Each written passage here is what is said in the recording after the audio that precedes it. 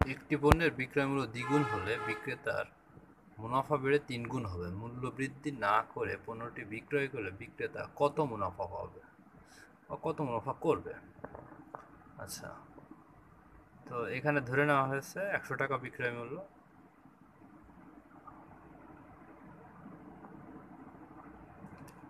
আচ্ছা যখন বিক্রয় মূল্য একশো টাকা, তখন ধরা হচ্ছে লাভ পি টাকা। আবার আরেকবার ধরা হচ্ছে বিক্রয় মূল্য দুইশো টাকা। তখন লাভ থ্রি পি টাকা ধরা হয়েছে। তার কারণ হচ্ছে এখানে পড়ছে বলা হচ্ছে প্রথম শর্তে, একটি পণ্যের বিক্রয় মূল্য দ্বিগুণ হলে বিক্রেতার মুনাফা বেড়ে তিন গুণ হবে। অর্থাৎ পণ্যের বিক্রয় মূল্য যখন দ্বিগুণ হবে, তখন মুনাফা বেড়ে তিন গুণ হবে। যার কারণে বিক্রয় মূল্য যখন এই একশো থেকে দুইশো হয়ে গেল, তখন লাভ পি থেকে থ্রি পি হয়ে যেতে হবে।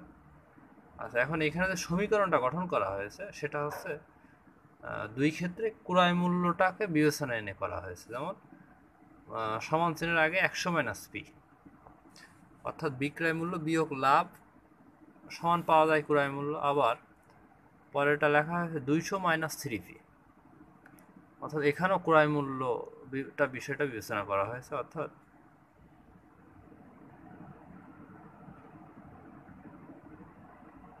বিক্রয় মূল্য থেকে থ্রি পি বিয়োগ করলেই ক্রয় মূল্য পাওয়া যায়। যাই পরবর্তীতে এটা সমাধান করা হয়েছে নর্মাল সিস্টেমে পি সমান পঞ্চাশ টাকা, অর্থাৎ লাভ পাওয়া গেছে পঞ্চাশ টাকা। আচ্ছা তাহলে ক্রয় মূল্য কত হবে?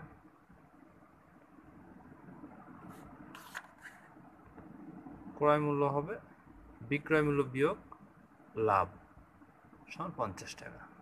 অর্থাৎ মূল্য বৃদ্ধি না করে পণ্য বিক্রয় করা হলে লাভের হার পঞ্চাশ বাই পঞ্চাশ গুণ একশো পার্সেন্ট ইকট একশো।